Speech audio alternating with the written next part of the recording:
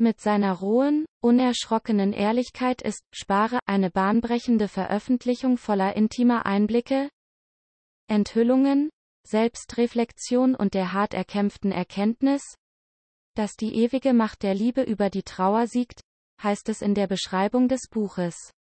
Da dürften bei den Royals natürlich die Alarmglocken schrillen.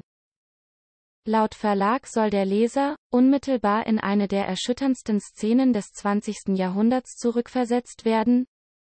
Zwei kleine Jungen, zwei Prinzen, die hinter dem Sarg ihrer Mutter hergehen, während die Welt voller Trauer und Entsetzen zusieht. Als Diana, die Prinzessin von Wales, zu Grabe getragen wurde, fragten sich Milliarden von Menschen, was die Prinzen wohl denken und fühlen würden, und wie sich ihr Leben von diesem Zeitpunkt an entwickeln würde. Für Harry ist dies endlich seine Geschichte, preist Penguin Random House, Prinz Harrys Buch vollmundig an.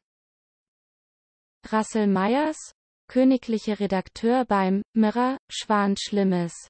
Royal Insider hätten ihm zugetragen, dass Harrys Enthüllungen ein erneuter konfrontativer Angriff auf die königliche Familie ist, nachdem diese den Wunsch nach Privatsphäre geäußert hatte.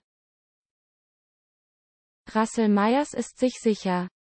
Die Anwälte des Palastes werden im neuen Jahr in Alarmbereitschaft sein und genau prüfen, was in dem Buch steht. Sein bitteres Fazit, unabhängig vom Inhalt, der schon angesichts des Titels zweifelsohne brisant sein wird, wird es kaum eine Chance geben, dass das Buch eine Wiederannäherung mit Harry und Meghan fördert. Tatsächlich hatte bereits Harrys Titelwahl für Aufregung gesorgt. Spare soll eine Anspielung auf den Ausdruck Will er in Spare, in etwa, der Erbe und sein Ersatz, sein, mit dem Harry und sein älterer Bruder Prinz William aufgrund ihrer Stellung in der Thronfolge bezeichnet wurden.